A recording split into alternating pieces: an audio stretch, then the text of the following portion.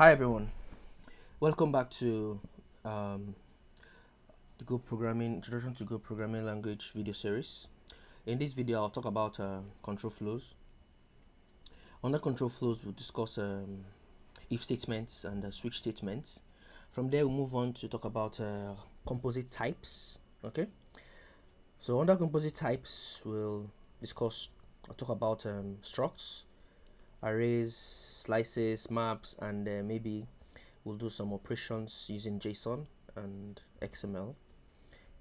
So after that, we'll talk about um, constants under type declaration. Constants and the IOTA keyword, I'll show you what pointers are and how to use them. And we'll talk about uh, functions and of course methods. Okay.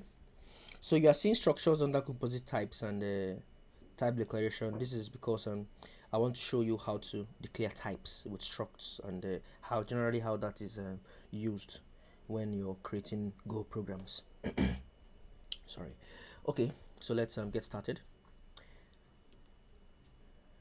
A controlled flow. In so um yeah. In computer science, control flow or flow of control is the order in which individual statements, blah blah blah blah blah blah blah blah. Yeah, that's that's long English. I actually pulled this from Wikipedia. Okay, but um, if you actually slow down and um, read what it has here, it's basically saying um, that control flows is just a way to um, structure how your, a program gets executed. Okay, so it, it says the order in which individual statements, instruction or function calls, okay, are executed in a program okay? So yeah ignore this imperative. So um imperative we have imperative and declarative um, um programming languages. So go is a is an imperative programming language and that's why we have things like this here. So but don't worry about this yet. Um if you're curious though you can google them and you get more information on that. So the first thing of the um the first uh, part of our control flow uh, um, discussion is um, the if else so the if else is uh, literally, I think it's in every programming language. Yeah. So the if it starts with the if keyword, a condition, and then the operation. Okay. So this condition is um, must resolve to a boolean. Okay. So if statements are just made up of, of the if keyword and the condition that resolves to either true or false. Okay? So a classic example would be what what i have down here from line 20 where i say if a is um equal to b. So notice this is a double equals it's a double equal sign. So this is called the comparison operator. We have multiple comparison operators. We have the double equal sign. We have the greater than sign. We have the less than sign and uh, we have the greater than or equal to we have the less than or equal to okay? So these are called the comparison operators because they are basically used to compare two um should i say maybe yeah used to compare two values okay? So right here i'm comparing the variable a and variable b. And uh, if both of them are equal okay? So there's a difference between this. If i did something like a equals to um, b. So this is not going to work with a single equal. So this is just assigns b to a. That is not what we want. We want to compare the two variables. So we do that by using the double equals. Okay? So let me switch to our main.go file so we can see this in action. So let's let me let's assume that we'll have um a variable a and uh, it's an integer so let's say it's an int 20 it, it's uh, 20 and we'll have the b variable and we'll uh, set that to 40 okay? So we want to um, execute two different um, um, operations or let me say statements all right depending on how these values are you know set okay so do note that uh, we can actually get uh, input from the command line like we did in the in last week videos or we can uh, do it maybe through a web application interface or you know anything of that sort. But for now we'll just declare a variable locally and use that to demonstrate um, the control flow. Okay so now we can say if a is equal to b okay? So we can just simply print out um, um that's it. Oh come on. Print ln say a is um no. A is uh, equal to b. Okay. So just going to copy that and modify that. Then we can say else. And just say a is not equal to b. So i'm going to go ahead and save that. And uh, run this program go run main.go yeah a is not equal to b. Okay? Now we can actually nest our if statements okay? So to do that we were going to have to add another if after our else. So it's going to be if a is equals to b else if another condition that's what we're going to add here. So we can go ahead and say l else if a is greater than b can go ahead and print something different and say a is greater uh, greater than b. And, even nest more where we can say if a or we can say if b is um less than a go ahead and uh, print something else. Say b is less than a. And we can even keep going okay? And add as many else ifs as we'd like okay? But let, let's just stop here. Then just do else. Can go ahead and uh, so if a is not equals to b and a is not equals um, greater than b and b in itself is not less than um, a then we can then assume that b is greater than a so let's say greater than a okay. So let's execute that. Yeah. Which is exactly what we're looking for. B is greater than a. Yeah so that is basically what um, control flow is all about. So the um, the fundamental explanation is uh, just like um, a police officer that stands in a you know four road junction and then directs how cars actually pass so you can stop this stop that or maybe classic um, traffic light okay? That's stop this car from moving and let this one pass you know things like that. There are so many things that we can actually you know work with this. You'll be doing a lot of control flows in your programs all right not necessarily long ones where you're nesting to money um, if else statements. You could just have very very basic ifs and they are very very useful and no doubt that every modern programming language has some concept of if statements you know in it. All right all right so um that is that for if statements. So the the next one we have here is the switch okay? Um so the switch and the if um, else statement are they're basically the same thing all right but there are some times where you might feel that using a switch um, might just be you know better for you to do to use and, and things like that. So let me quickly write one. So the switch statement start with the switch keyword okay? So you put the expression. So the expression is um more like uh, what we have here on line 9 where i said if if a is equal to b. So this is an expression okay? So this will either resolve to a true or a false. Okay? True or false. And uh, if this is true mm, we'll go ahead and execute the code on line 10 if it is false our program moves on to the next um, the next expression which checks if a is greater than b. If this is true it goes on and executes this. And then and mind you once one of these things resolves to true every other statement is ignored okay? So let's say that uh, um, let's say that um, that uh, our else statement here on line 11 or else if on line 11 actually resolves to true we'll notice that this gets printed out and um, every other thing is ignored. So you can actually uncomment this and try it and see what goes. So go ahead and tweak this around so you get um, a better feel of what if statements are and how they work. Play around with it and drop me a question if you have any.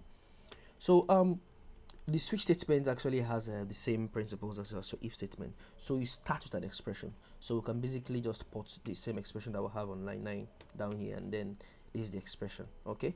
So we can go ahead and say if condition is true okay so we can go ahead and say fmt dot print line. Now say no basically say the same thing. A is equal to e. Okay and then we can nest even more cases here. So we can say false case false which basically means when this expression resolves to a false um, um, result. Go ahead and print another thing that says a is not equal to b. Okay? So then we now have the default block. So the default block is uh, when everything doesn't work just execute this line. So it's the same thing as the else statement. So the else just runs if every other every other condition fails to resolve to true. Okay? So we can say default fmt dot print ln and then say um a. Yeah come on just say um okay we don't know something like that. Let's say we don't know. Okay? We don't know the answer so that's okay. Now let's go ahead and run that. And there we go. A is not equal to b. So if we go ahead and change this to 20 we should expect to have um yeah that a is equal to b. They're the same. Okay? So let's go ahead and make a bigger than b. And let's see since we don't and yeah still get uh, this one executed because it's all a false okay? So we can actually um make use of um something different here. So we can actually use strings okay? So let's um, assume that uh, we have um, a string expression that says uh, let's just call that uh, clans okay? So if um just take this down to clans then and have um, something like this. Men down here. And like I said you can add more cases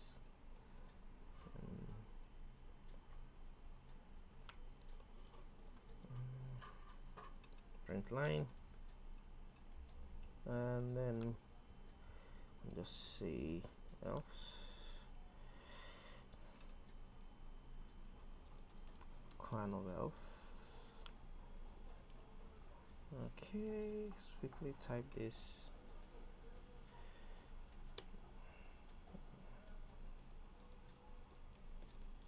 Clan of men.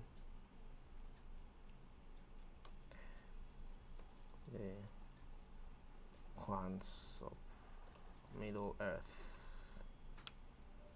okay. Let's go ahead and run this and yeah because of clans so when we uh, have elves um, I don't expect this to run because yeah it's case, sensitive as you can see.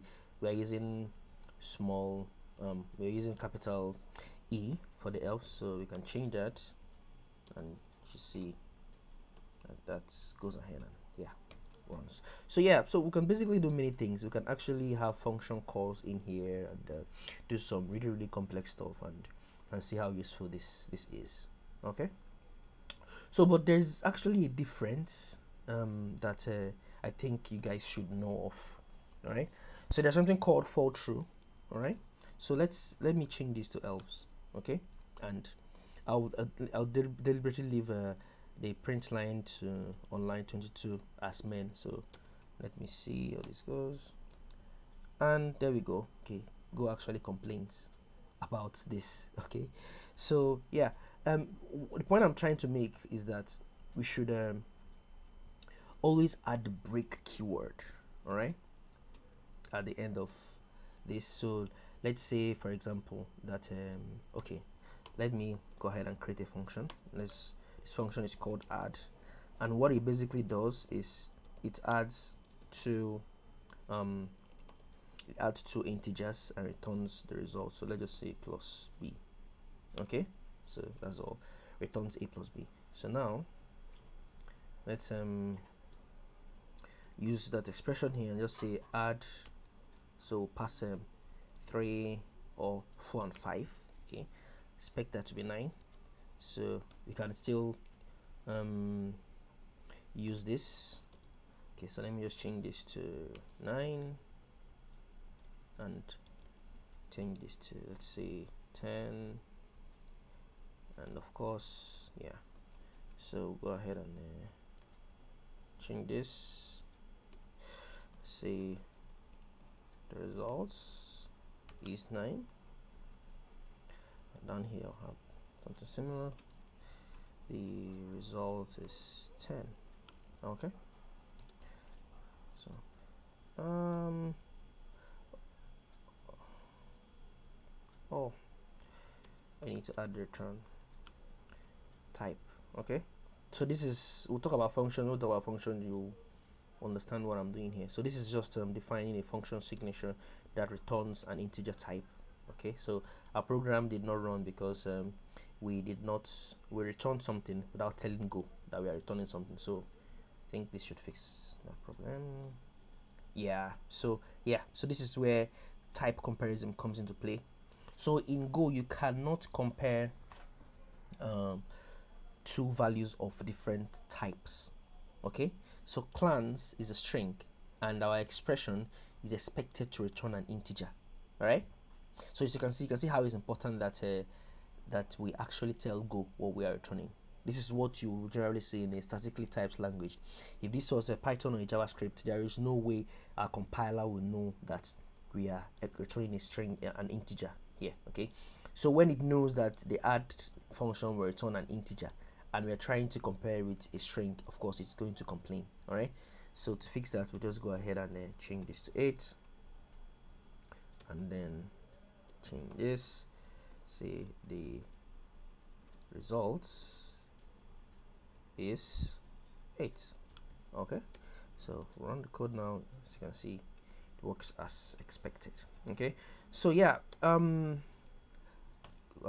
it's always advisable to break your case conditions because um, when a condition just like in an if statement okay if a condition is met if the condition is met in an if statement. It will skip every other block in the if all the if blocks.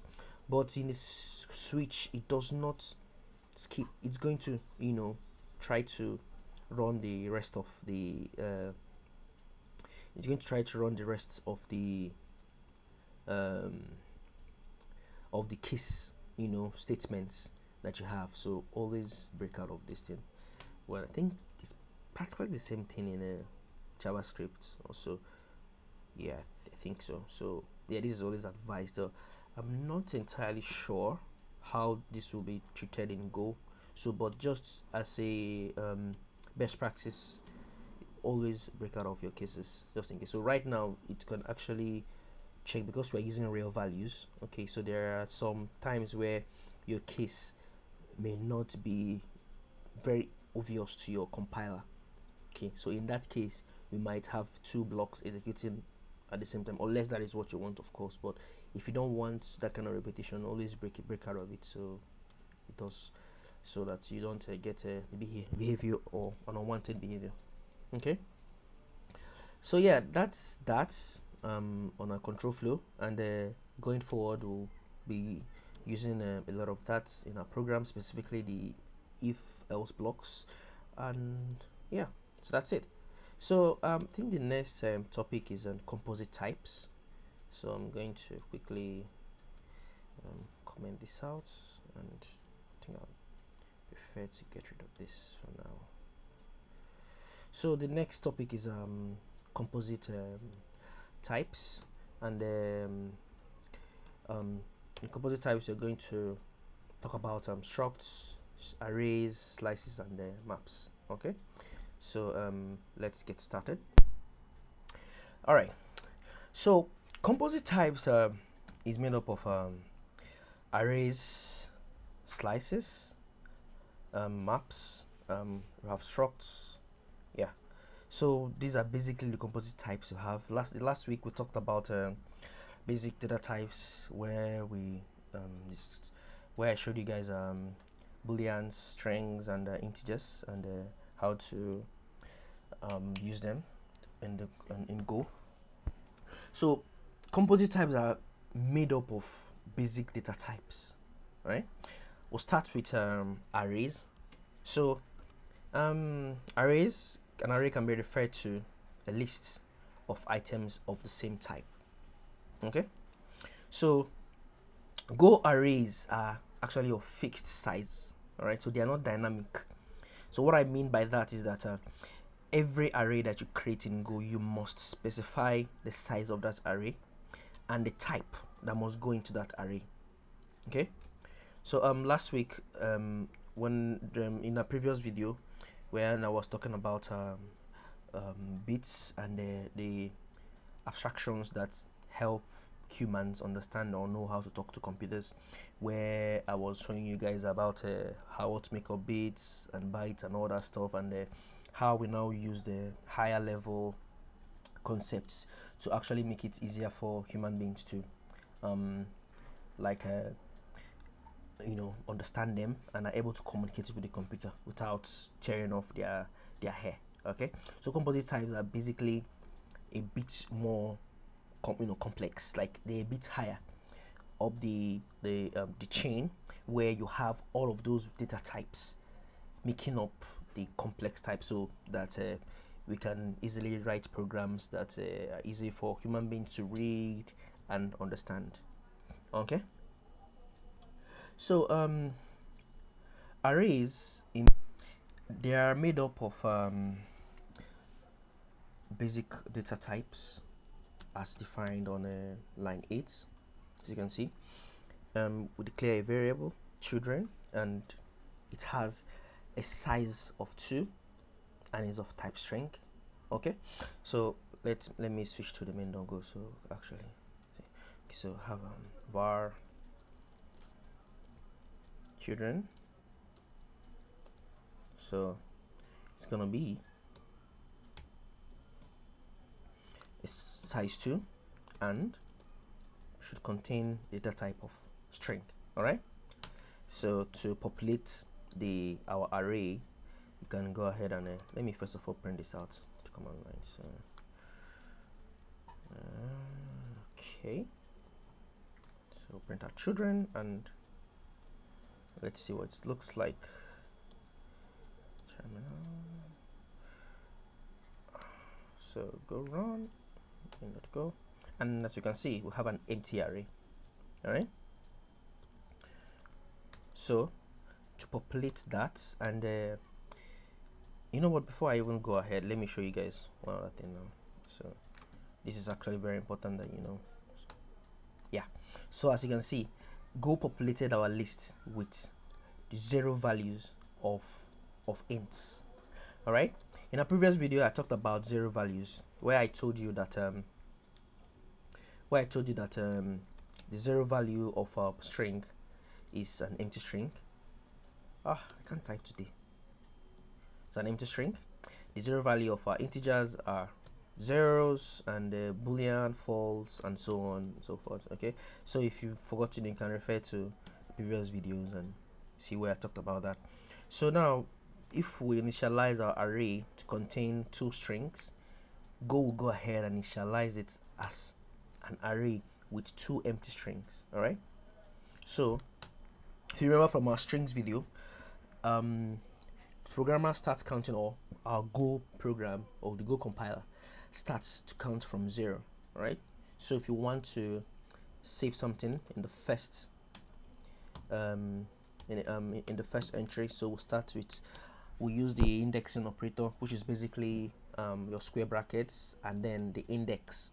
So index 0 is basically the first element inside of our array. So let's say we can uh, call that elves right and then that's it. That's the first element in our array. And if I save that and run you should see that we have elves. And then we also have this space here which is basically telling us that there is an empty string there. Okay? So you can go ahead and um, add another or the second element which is going to be index of one which simply men all right so let's go ahead and run that and we have our two elements elves and men okay? So let's see what happens when we try to add another element into this our array of two you know length of two. So let's say we'll just call them uh, anors all right so as you can see the compiler is already complaining even before we execute it. Invalid array index out of bounds. And if we run this code the program should crash because we told the compiler that our array is going to be just of length 2 and we are trying to add three items right so this is where our problem starts. So let's we can actually extend this and everything should work fine all right so i'm just going to take that back yeah so that is basically what arrays are. So they must be of the same type and uh, which basically means that we cannot add any other thing but string this array. So I try to add an integer there's a problem program will not run. So it must be of type string as we have said here okay? Yeah so yeah arrays are made up of basic data types and uh, they are quite useful. Let's say we want to hold a list of uh, similar elements and manipulate that with maybe a for loop or even uh, our if statements this is the way to go. And yeah they are not as flexible as you might um, find them in other programming languages but they are pretty useful. All right so there's another way to um, kind of initialize our arrays. So we can um, declare it or we can simply use the I think I'll just comment this out. We can simply use the um, what's the code?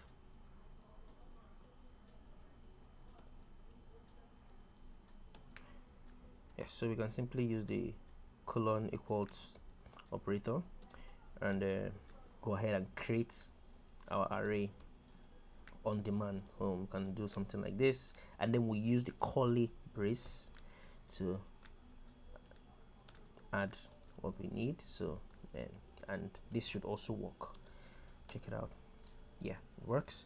So if we want to access only the element the second element in our array we can use the indexing operator which is um, using um, square brackets and passing the index of the element we want to retrieve.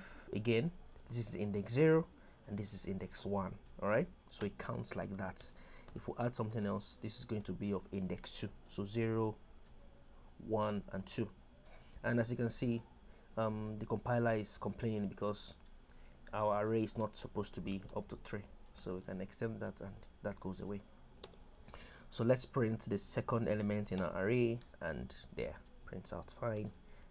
Can also try and print out the third element there works as expected so yeah. Um i think that's it on uh, on arrays so um we can also use the yeah the length function. So the length function is actually an inbuilt function in go that helps us retrieve the length of an array. Okay so if we don't know this this length from here we can actually just call the length function we don't need to import any packages. It just you know preloaded it's preloaded in all of your programs. So we can use it to access the length of our arrays. And there three. Okay? So there's something called capacity.